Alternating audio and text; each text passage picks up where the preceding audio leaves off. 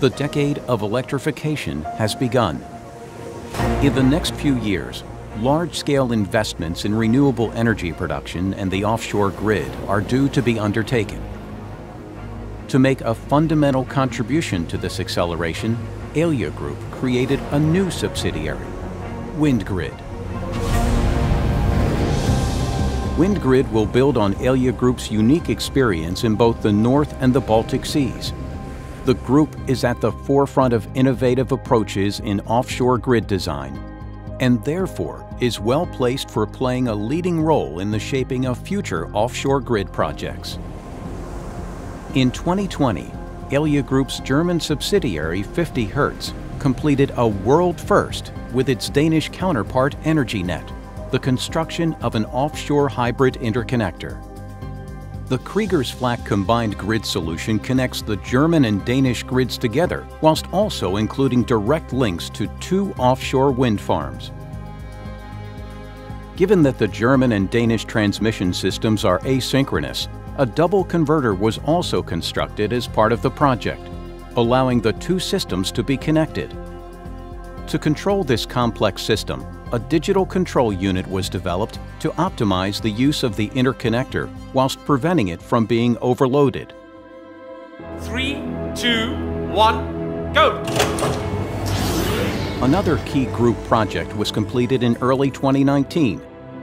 Elia, its Belgian subsidiary, inaugurated NemoLink, Belgium's first electricity interconnector with the UK. The HVDC interconnector, 400 kV, is jointly owned and operated by Elia and its British counterpart, National Grid. The project brought a number of international teams together. Whilst it was led by Elia and National Grid, German company Siemens built the converter stations and Japanese manufacturer Sumitomo Electric built the cable. NemoLink's availability is above 99%, making it one of the most reliable interconnectors of its kind in the world. Moreover, Elia's modular offshore grid, or MOG, is located 40 kilometers off the Belgian coast. The MOG is a switchyard platform that bundles electricity generated by four offshore wind farms together and then transmits it to the mainland. The MOG is a unique structure in Europe. The project was completed within an extremely tight schedule. Only three years after the initial approval for the project, King Philip of Belgium inaugurated the project.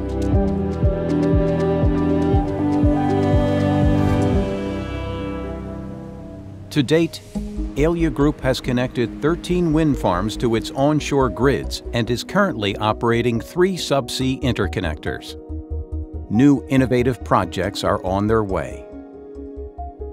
These include Triton Link, a 600-kilometer subsea cable that will run between Belgium and Denmark. This project could be a world first. It looks likely that it will be the first hybrid connection between two artificial energy islands. Other projects are due to be linked to the Belgian energy island too. These include the export cables for a second offshore wind zone in Belgium and a second interconnector with the UK called Nautilus. In the Baltic Sea, 50 Hertz and Energinet are currently focusing on the construction of a second hybrid interconnector. Central to this new project is Denmark's Bornholm Island.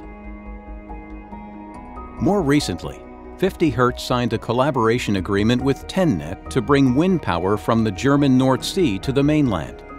Two offshore DC cables will be linked to a so-called multi-terminal hub that will consist of several components like a converter station, a 200 kilometer long direct current underground cable, and an electrolyzer for the production of green hydrogen. Through WindGrid, Elia Group wants to go one step further and expand its overseas activities.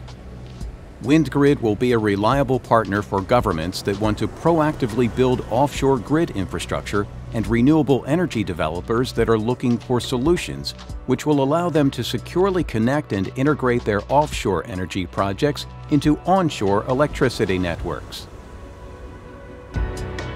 By harnessing our experience and know-how, and co-investing in international offshore grid infrastructure, WindGrid will make a fundamental contribution to accelerating the energy transition.